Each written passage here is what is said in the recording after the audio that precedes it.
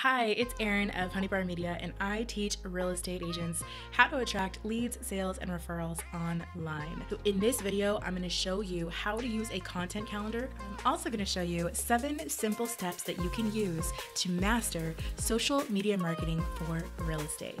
And make sure you stay to the very end so you can get a copy of the exact content calendar that I used for all of my top producing clients. Tip number one take photos everywhere so that you always have content ready to go. And this could be anything like beautiful homes, amazing restaurants, cute little shops, stunning hikes, pictures with community influencers around your office, even fun times with your team and with your family. And speaking of which, if you have a team, you can instantly double your content by encouraging all of your team members to take and send you photos as well. Tip number two Filter your photos so that they're beautiful and on brand.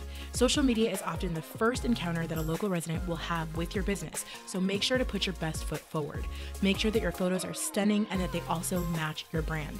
My favorite editing apps are Canva and PicMonkey.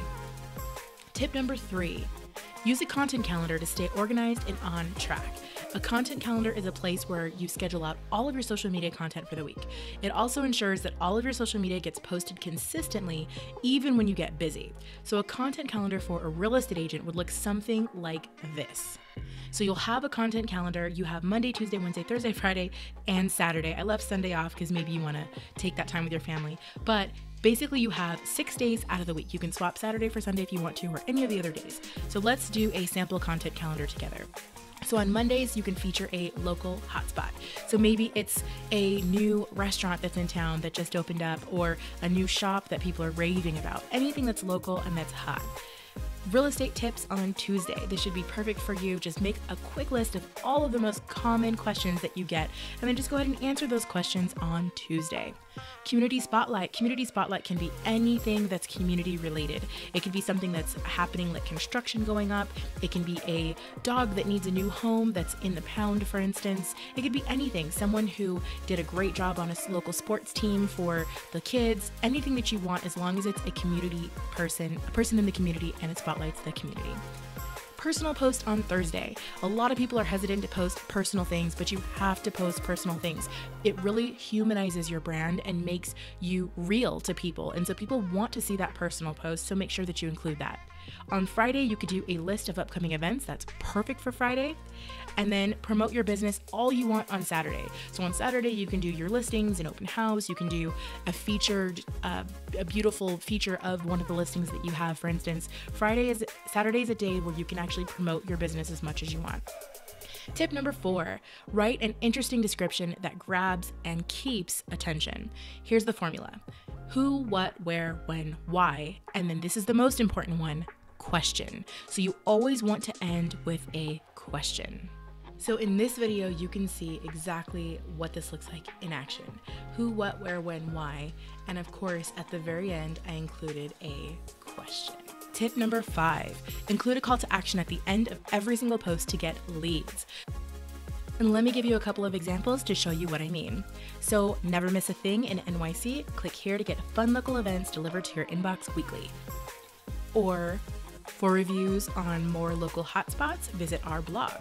Or for an instant home evaluation, click here.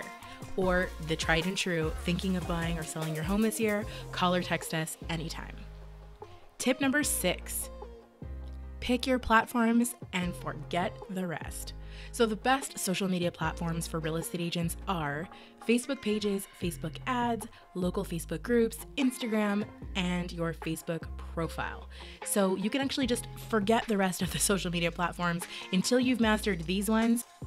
Don't even worry about the other platforms, okay? So that should be a huge weight off your shoulders right then and there. So these are the ones you need to focus on. Leave the rest for after you master these ones listed on this page.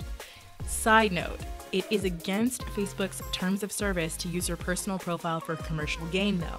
So it's always best to post all of your business promotions on your page, not your profile. So be very, very careful about what you post on your profile because Facebook has every right to shut your whole account down if you're promoting your business too much on your personal profile. So save all of that for your Facebook page. Tip number seven schedule your posts. I cannot stress this one enough. So, ideally, you want to do it one week in advance. And if you're using the content calendar, that should be super, super simple for you. For Facebook scheduling, I actually use the native scheduler inside of Facebook. And for Instagram scheduling, I use a program called Later.